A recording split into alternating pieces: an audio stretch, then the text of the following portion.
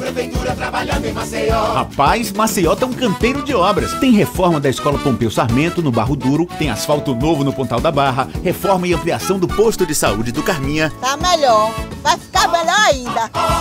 Da prefeitura trabalhando em Maceió. Tem praça e quadra reformadas no Jardim Petrópolis, novo terminal de ônibus do Mucambo, 900 casas no Residencial Rio Novo. Olha o asfalto aqui, ó. Da prefeitura trabalhando em Maceió.